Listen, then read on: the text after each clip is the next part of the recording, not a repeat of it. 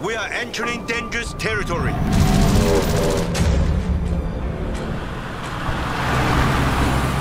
The enemy has more men.